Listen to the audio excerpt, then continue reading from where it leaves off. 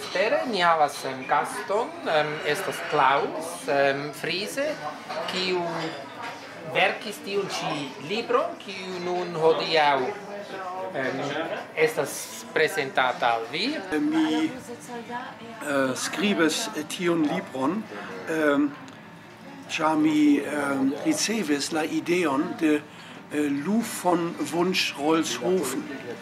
Li estas coautoro, li estas ankaŭ en, en tiu listo. Li uh, uh, pensis che mancas um, libroin farita en la germana lingvo pri Esperanto.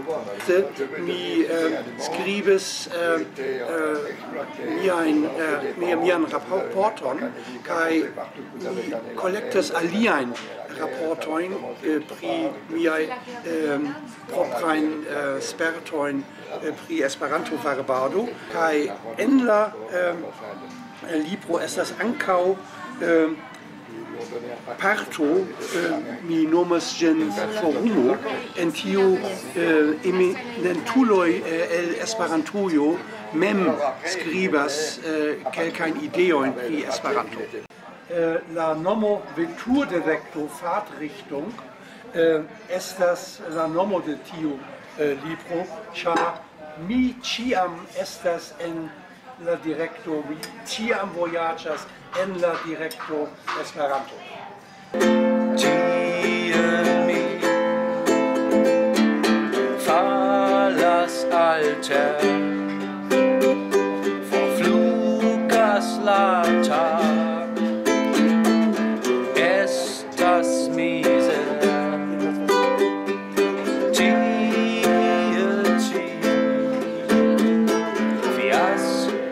Fiascas la plan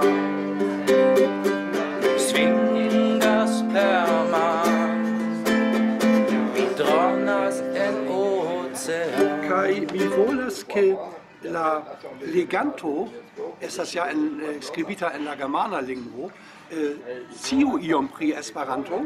Kai mi volas ke li rimarkas ke mi faris tion kun entuziasmo